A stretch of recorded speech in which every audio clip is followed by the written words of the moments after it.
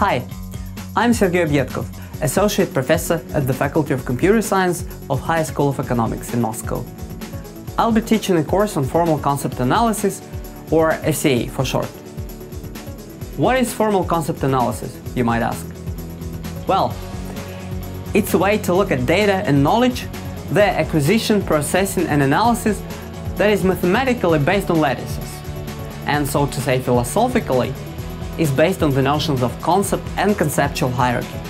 Formal concept analysis has been used in many areas, ranging from history and sociology to epistemic community detection and social network analysis, to machine learning and ontology construction, software engineering, and many other fields.